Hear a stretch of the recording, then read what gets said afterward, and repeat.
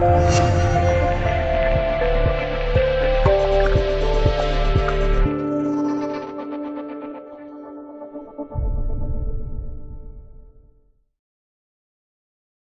文作者孙庆宁三节课信息内容：实习生曾在美国华盛顿 D.C.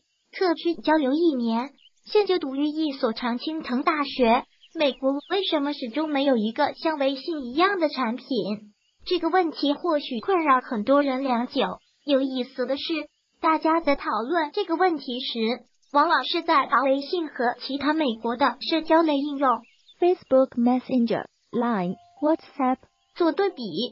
但是，微信仅仅是一款社交软件吗？我认为，微信更像是一款工具类软件，一个人们整合了社交、支付。信息来源的生活入口，所以在讨论为什么美国没有微信的时候，对标的并不应该是社交类应用，而应该是类似的生活入口。人们或许可以轻易的列举出美国各方面的巨头：社交的 Facebook、Instagram、Snapchat、支付的 PayPal、Venmo、Apple Pay、信息来源的各类新闻和网站。但是，若要说到整合了多种功能的生活入口，唯有一款重量级的产品不应被忽视：电子邮件。人们通过电子邮件和朋友保持联系，与世界沟通，并获取信息和服务。比起国人凡事都喜欢用微信聊，美国人更习惯通过邮件来进行大量沟通。在美国，人们每天平均都会收发百多封邮件，超过百分之七十的人拥有多于两个活跃的邮箱账号。电子邮件不年轻了，科技世界起起伏伏，谢幕了的产品无数。三十五岁了的电子邮件却是个特例，时至今日，它还是人们广泛使用的一项工具，甚至使用人数还在以一个平缓的速度持续增长。可能在很多人心目中，邮箱都还是个很冷门的工具。根据二零一七年八月四日 CNNIC 发布的第四十次中国互联网络发展状况统计报告数据显示，二零一七年六月末的中国电子邮件用户规模约为二点六亿，使用率为网民的百分之三十五，半年增长率达百分之六。这组数字是什么概念呢？同期，中国网约出租车的用户规模约为二点七八亿。微博的用户规模是二点九亿，而美国的电子邮件网民渗透率是中国的二点六倍。根据 Statista 的数据，在美国，尽管增速较缓，但电子邮件用户在二零一八年占全部网民的百分之九十点六。这意味着上网的人中，每十个人里只有一个不使用电子邮件。我们再看看微信，根据激光大数据发布的。二零一八年 Q 一移动互联网行业数据研究报告，微信在今年三月份的渗透率达百分之八十六点四，这一数字是低于电子邮件在美国的渗透率的。或许也使得聊聊美国的电子邮件，这事更有意思。为什么 email 算是一个和微信对标的生活入口？为什么 email 在美国特别风靡？这篇文章试图从用户习惯与路径上来给出一个可能的解读。用户习惯，美国用户往往从校园就开始培养邮箱使用习惯。在美国，很多学校从初中起就会为学生提供一个学校邮箱。仅仅就校园内部而言，邮箱是主要的沟通方式之一。所有的校方课程沟通，包括补充阅读材料、课后总结。考试分数和分布、提交论文、校际活动和放假的通知、社团活动的宣传，大都是通过邮件来沟通。而在国内，一般都有老师在课堂上直接发放通知或宣布，或是通过校会和班会等方式告知。提交论文一般也都是上缴打印好的，或是手写的纸质稿。这里面主要有两方面的原因，首先。美国绝大部分初中和高中均为走班制，这导致通知很难通过真人口头或是书面的下发。其次，美国学校大都并不禁止使用电子设备，这为电子邮件的使用创造了客观条件。而比起更具有干扰性的即时通讯，邮件也更适应于校园这个环境。走上社会后，电子邮件也是最正式的职场沟通方式。几个最直接的好处是，邮箱的后缀名可以是公司名称，显得很正式。在对外沟通时，也可以有效识别一个人所属公司。公司可以自行构建服务器，安全性高。群组发送、抄送、密送、转发、定时发送、已读回执功能涵盖工作中的各种沟通需求。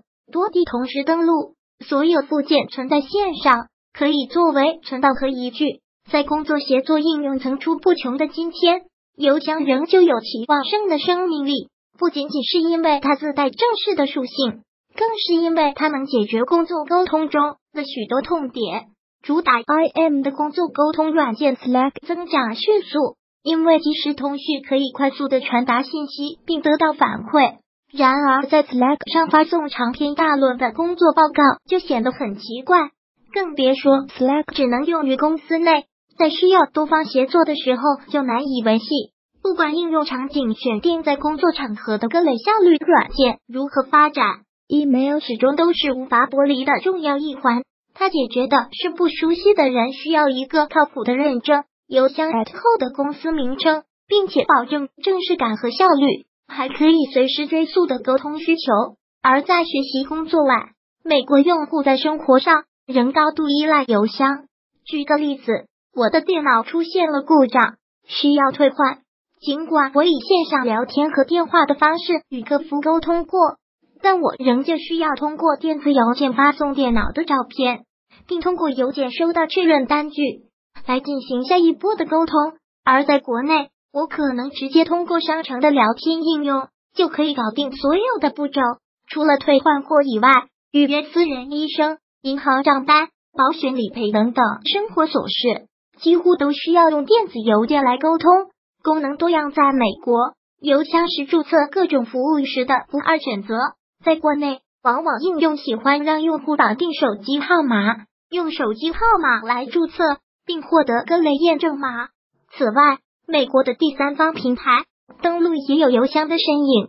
比起国内一般采用的微信和微博账号一键登录，美国 APP 一般采用的是 Google Ons 或者 FB 一键登录。在美国。邮箱账号往往还扮演了微信公众号平台的角色。美国大量的内容网站，无论是传统媒体 WSJ Times、Washington Post，还是新媒体个人博主 Medium、TechCrunch，均在邮件注册后可以订阅每日、每周、每季度邮件。邮件内容往往还可以私人定制。图片中的第一条是 The Wall Street Journal 的每日推送。里面有十条对于今天最重要的新闻的解读。第二条是来自 Financial Times 的每日推送，根据我在 FT 上所关注的行业和板块来推送过去二十四小时内的热点新闻。第三条来自 Andrew 吴恩达，内容是他博客的一些更新和他最新一本书 Machine Learning Learning 试读版的最新章节。第四条是来自麦肯锡的季度报告。除去正经的新闻外，美国的邮箱账号还往往是个电商促销邮件的聚集地，是不是很像曾经出现在实体邮箱里会看到的超市打折券？国内常见的教程可能题为微信推送如何转化为销售，而在美国，email 销售始终是个热门话题。二零一八年，在手机上打开一封促销邮件后，销售的转化率可以达到百分之五十。在电脑端的邮件销售转化率也有百分之三十五。总体而言，邮箱对于美国用户而言是一个生活入口。人们通过邮箱处理工作、保持人脉关系、获取信息、打理生活中的琐碎点滴。美国的邮箱好用啊！国内的几大电子邮件服务商可以说是很没有诚意的。网易邮箱广告多，QQ 邮箱功能不全。还容易被打成垃圾邮件，换我我也不用啊！更别说整体界面可能和我十年前注册邮箱时的界面相差无几。美国的邮件服务商 Gmail、Apple Mail、Outlook、Hotmail 等功能丰富，页面简洁，可以构建出一个完整的用户生态。我们以 Gmail 为例，最新版的页面中利用智能算法自动将邮件分成几个 tag，可在几个备选项中任意选择组合。左侧边栏下半部分是 Google 的 IM 功能，可以和联系人发短信、打电话。右侧的几个小标签分别是日历、备忘录和待办事项，可以在查看邮件同步做出记录和调整。点击加号可以添加插件，包括工作协作软件 Trello、Asana 各种语法检查插件、工作文档编辑插件。点击右上角可以打开更为丰富的 Google 系应用，例如像微信朋友圈的 G O O G L E 加、网盘 Google Drive、在线文档编辑的 Google Doc、Slides、Sheets、地图、翻译、网课、购物、新闻、论文、旅行、视频。可以说的，上市应有尽有。因此，比起国内功能简单、风格质朴的邮箱，美国的电子邮箱更像是一个集成的生活入口。尽管我会使用其他各类软件来实现一些具体的、细分的需求，但我很难做到一天不打开 email。可以这么说，在美国不用邮箱，就像在国内不用微信。比心。